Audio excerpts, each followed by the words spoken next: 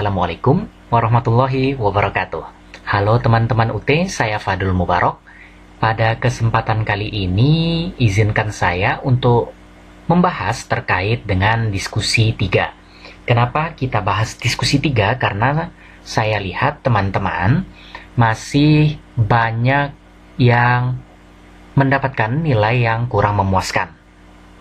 Jadi kita akan bahas soal pada diskusi tiga ini.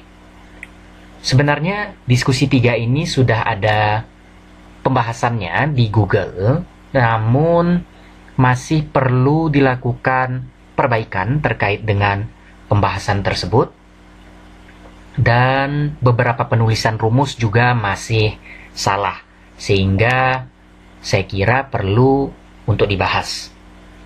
Mari kita langsung saja ke soalnya. Jadi soalnya seperti ini diberikan data produksi hasil panen jambu dalam bentuk satuan kilogram. Jadi datanya terdiri dari 100, 85, 80, 75, 70, 65, 60, 50, 45, dan 40 dalam bentuk kilogram. Hitunglah, yang pertama itu deviasi standar, yang kedua range-nya, yang ketiga deviasi standar masih sama dengan yang satu, yang keempat koefisien uh, variasi. Dari koefisien variasi ini diminta dua hal. Yang pertama jelaskan pengertiannya, yang kedua berikan kesimpulan hasilnya dari nilai yang didapatkan dari data yang ini ya. Kemudian soal yang terakhir adalah koefisien kecondongan, dan kesimpulan tentang kurva distribusinya. Jadi, ini juga berdasarkan data yang ada. Mari kita langsung saja copy datanya seperti ini. Contohnya, kita copy dalam bentuk Microsoft Word agar lebih mudah dipahami.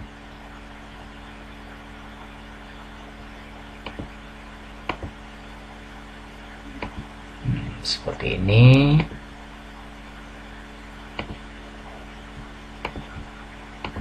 Ini juga perlu dipahami.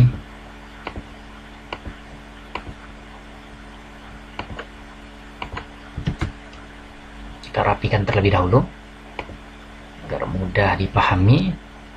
Jadi soalnya seperti ini.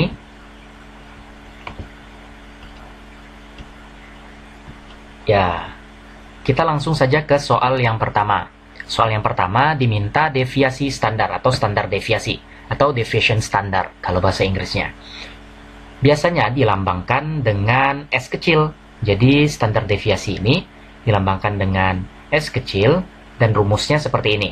Jadi ini untuk standar deviasi pada sampel atau pada contoh.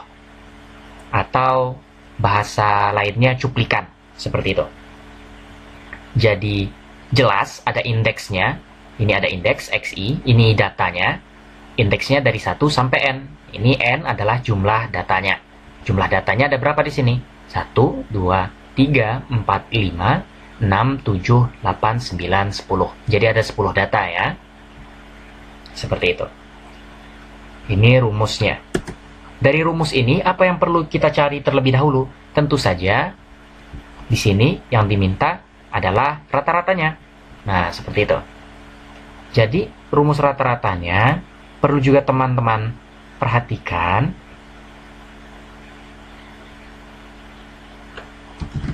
Kita buat di bawahnya.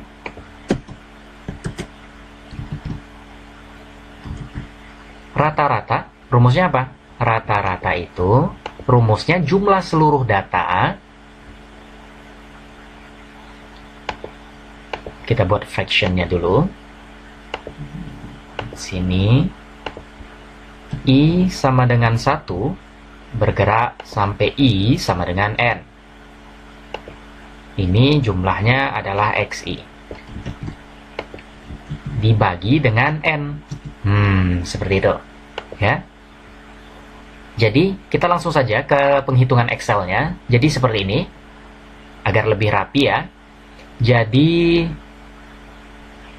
ini datanya 185 sampai data ke 10, 40, kita cari terlebih dahulu sebenarnya rata-ratanya atau X bar-nya. Jadi rata-ratanya seperti apa? Nah, rata-ratanya kalau rumus di Excel jadi adalah average dari data pertama hingga data ke 10. Hasilnya adalah 67 ya. Hasilnya 67. Kalau dituliskan secara rumus eh, secara matematis langkah-langkahnya jadi seperti ini. Teman-teman bisa buat kalau ditulis disuruh untuk menuliskan langkah-langkahnya jadi 100 ditambah berapa lagi? 85 tambah seterusnya sampai data yang paling terakhir 40 dibagi dengan berapa? Dibagi dengan 10 N-nya. Hasilnya sesuai dengan yang Excel tadi, hasilnya adalah 67. Nah, ini hasilnya untuk X bar atau rata-ratanya. Jadi X barnya sudah diketahui. Nah, seperti itu. Kemudian, rumusnya untuk mencari S ini masih berlanjut ya. Setelah X barnya diketahui, kita ketahui X barnya, seperti ini, kita bisa mencari yang di dalam kurung ini. Nah, jadi setiap yang di dalam kurung ini, datanya kita kalkulasikan. Jadi, dibuat kolom baru X dikurang X bar. Seperti itu. Jadi seperti ini. Nah, 100 dikurang 67 hasilnya berapa? Untuk rumus Excel-nya, jangan lupa pakai dolar ya, karena ini uh, tidak bergerak X barnya. Jadi diberikan dolar, simbol dolar, kemudian D, dolar kembali, dan 17 seperti itu.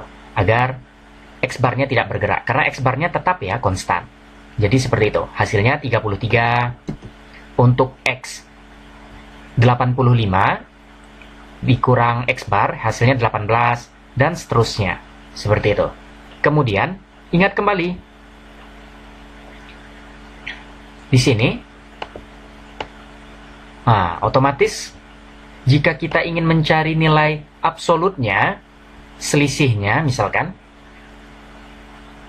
jadi yang negatif semua pasti menjadi positif karena diabsolutkan. Jadi untuk 33 tetap 33 dan misalkan untuk minus 2 itu menjadi 2. Seperti itu ya. Kemudian kita back to kembali ke ini ya, kembali ke rumus yang kita butuhkan selanjutnya setelah X1 XI dikurang X bar, maka kita pangkatkan. Semuanya kita pangkatkan ya. Jadi hasilnya seperti ini. Nah, X dikurang X bar itu dipangkatkan, hasilnya seperti ini. Hmm. 33 dipangkat 2, hasilnya 1089. Begitu juga dengan 18 dipangkatkan 2, hasilnya 324. Sampai yang terakhir, hasilnya 729. Jadi semuanya sudah di, uh, dikalkulasikan. Hmm. Jadi untuk totalnya seperti ini. Totalnya ini untuk yang di atas, rumus Excel-nya pakai sum, kemudian begitu juga dengan X kurang X bar, kemudian yang ini absolut, kemudian yang ini X dikurang X bar pangkat 2. Ini yang kita butuhkan untuk mencari nilai standar deviasi. Jadi, langsung saja kita tulis sini rumusnya. Gimana?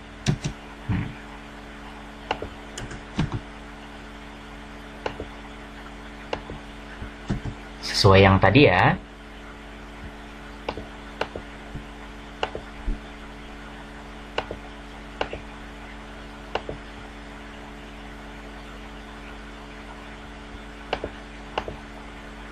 N kurang satunya berapa? N-nya 10, dikurang 1, hasilnya 9. Seperti itu. Yang ini, jika ingin dihitung secara manual, bisa juga. Jadi, jangan lupa simbol-simbolnya. jangan lupa untuk simbol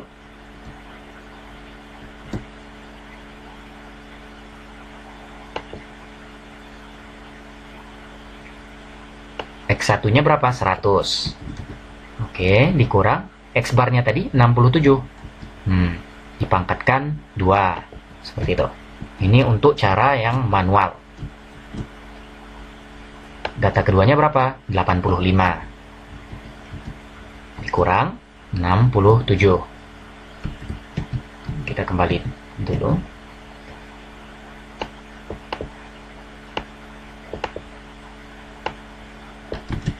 Kita copy saja. 85 sampai.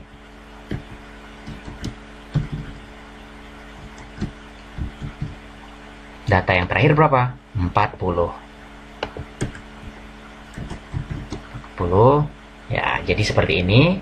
Hasilnya tentu saja bisa ditulis di bawah bisa juga ditulis di atas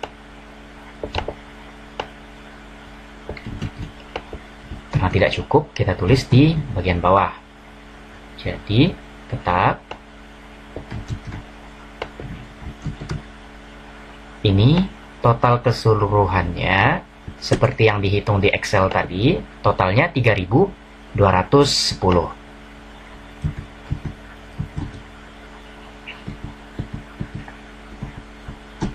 Hasil akhirnya berapa? Hasil akhirnya seperti ini. Nah, hasil akhirnya 18,80 886 seperti itu. 18,886 seperti itu. 886 jadi ini untuk standar deviasinya. Sudah selesai. Kemudian soal yang kedua yang diminta apa? Range-nya. Nah, rentang. Kalau bahasa Indonesia-nya rentang ya. Rentang itu apa? Misalkan, kita tulis kembali. Rumusnya apa rentang itu? Rentang itu adalah jarak antara nilai maksimum dikurang eh, jarak antara nilai maksimum dengan nilai minimumnya dari sebuah data. Jadi, misalkan kita beri simbol R kecil ya, misalkan nilainya adalah kalau kita tulis seperti itu X maksimum kurang dengan X minimumnya. Dari data sudah terlihat jelas sebenarnya. Nilai maksimumnya berapa? nilai maksimumnya adalah 100 jadi untuk memudahkan kita bisa urutkan datanya seperti ini.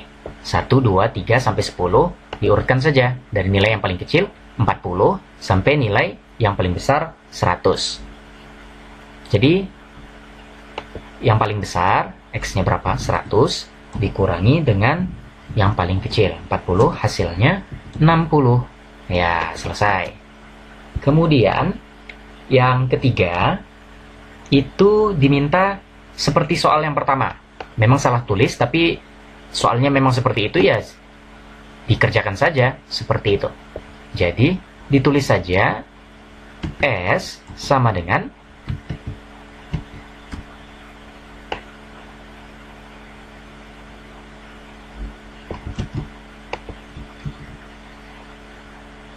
ini tidak perlu, langsung saja. Nah, hasilnya seperti ini. Oke. Yang keempat, diminta koefisien variasi. Koefisien variasi kita simbolkan dengan apa? Misalkan, kafe saja ya. Kafe. Atau visi, kalau mau bahasa Inggrisnya juga bisa. Ini juga kafe misalkan, itu rumusnya adalah standar deviasi dibagi dengan X bar. Nah, teman-teman hati-hati bukan dibagi dengan X, dibagi dengan X bar. Jadi hati-hati menulis rumus, kemudian dikali dengan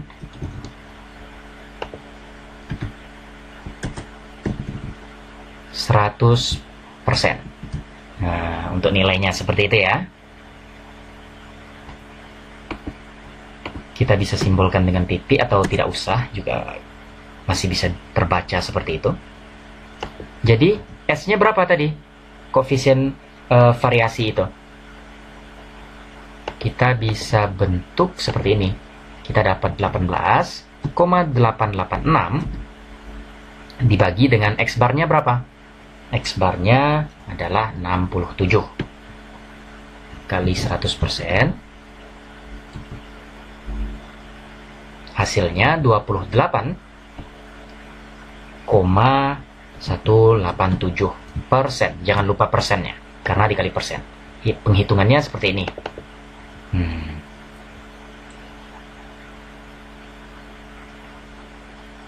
Jadi SD dibagi dengan X bar, seperti itu. Kalau rumus Excel-nya ya, dikali dengan 100.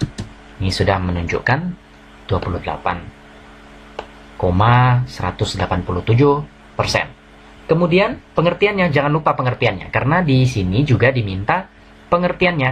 Jadi pengertiannya untuk uh, koefisien variasi ini adalah uh, persentasi deviasi standar terhadap rata-ratanya. Saya ulangi, persentasi deviasi standar terhadap rata-ratanya. Ini pengertiannya secara matematis ya.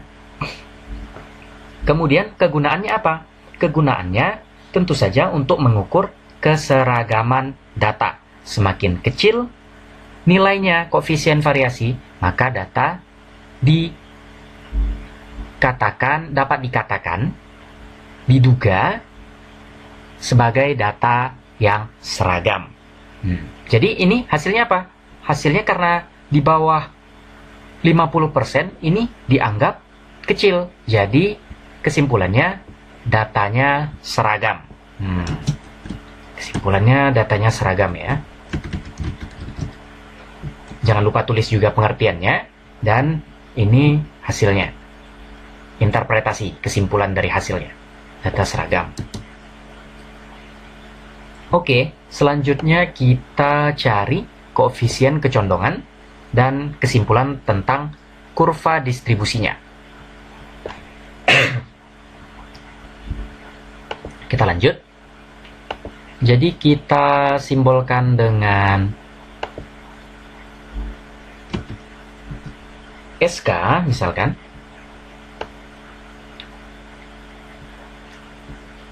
Skewness seperti itu kita simbolkan dengan SK, misalkan seperti itu, atau mau disimbolkan dengan yang sesuai contoh juga boleh, KK, misalkan koefisien kecondongan.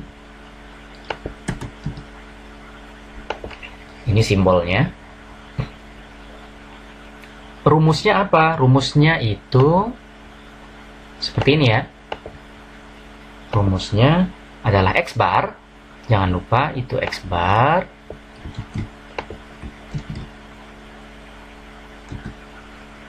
dikurang dengan modus.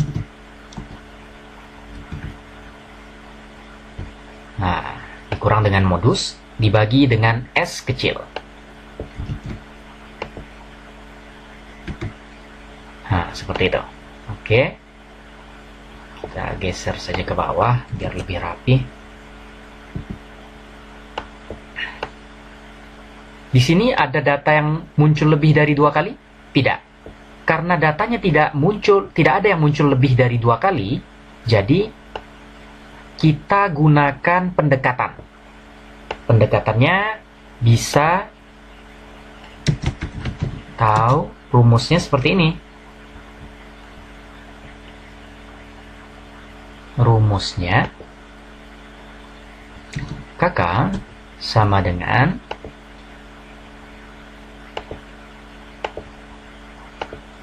3 dikali dalam kurung X bar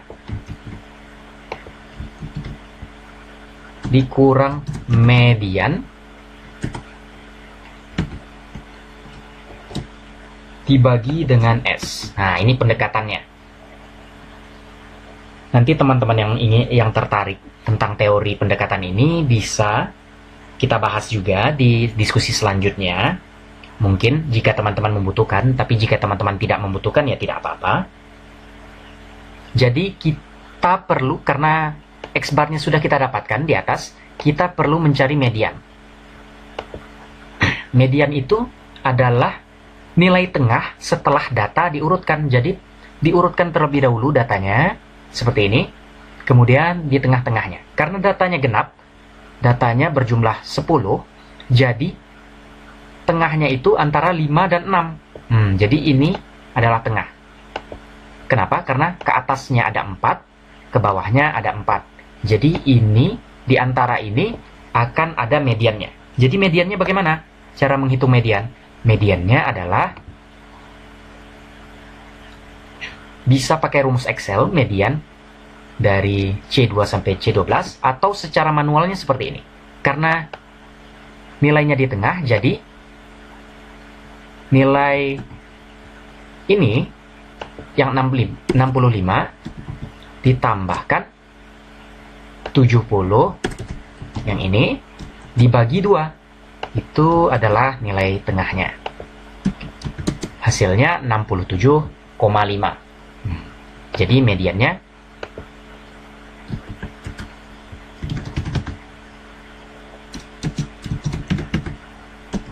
median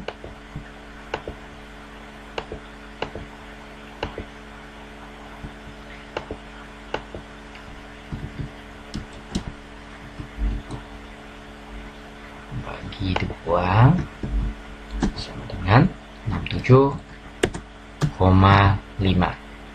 hmm, oke kita gunakan yang ini.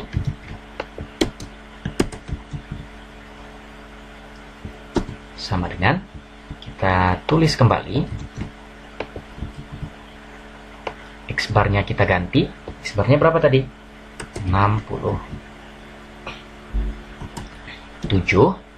dikurang dengan median. Mediannya 67,5 dibagi dengan standar deviasi. Standar deviasinya apa? Yang ini.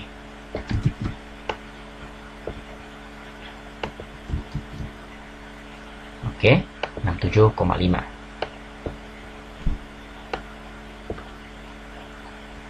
hasil akhirnya bisa seperti ini. Jadi 3 dikali X bar dikurang dengan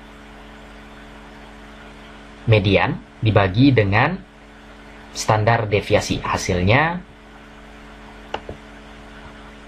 negatif karena ini 67 X barnya lebih rendah daripada yang atas, yang median, jadi hasilnya pasti negatif.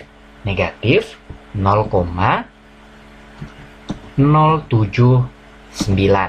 Ya, seperti ini ya.